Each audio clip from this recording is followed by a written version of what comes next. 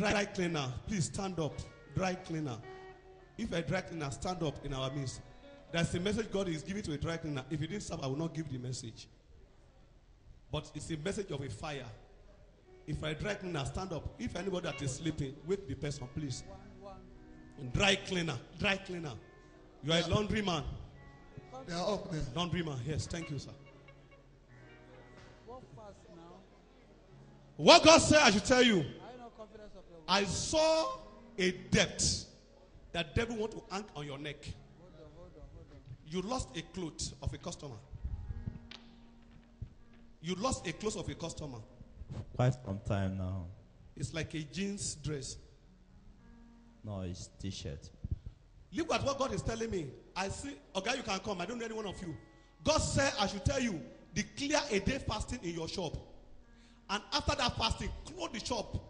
For the for if you if you do the fasting today, tomorrow just close the shop. Don't work. And leave the shop. Don't go to that shop. Don't work. Oh. Because I was I'm seeing a, a debt that devil want to put you to enter this month till even July next year to put fire into your shop.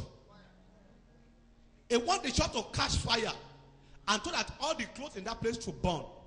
That's what I'm saying. God said you should declare a day fasting. Concerning the shop. Any one of you, any the two of you. You can do that's what God say. You will not enter death this year and carry to next year in the name of Jesus. That is thus say the Lord. Thank Church, God bless you.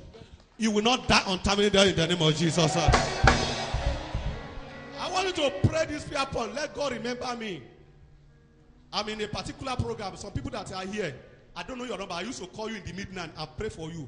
It's the program I'm into that I call your name and I pray for you. But thank God to remember you this year. And God want to continue to remember every one of you through this ministry. And He will remember you in the name of Jesus Christ. He will not bury anybody among you in the name of Jesus Christ. God bless you. Put your hands together for Jesus.